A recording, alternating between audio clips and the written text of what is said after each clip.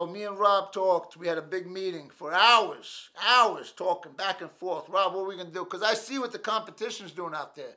They're giving a month free. They're giving two months free. I said, Rob, how are we gonna beat that? How are we gonna beat that? He said, I'll tell you how. Six months. Six months we're gonna give free. I said, Rob, what are you crazy? We're not gonna let them pay for six months. He goes, That's right. That's what we're gonna do. I said, How are we gonna do that? He goes, Because we're North Star and we're the best. And to be the best, we got to do extreme.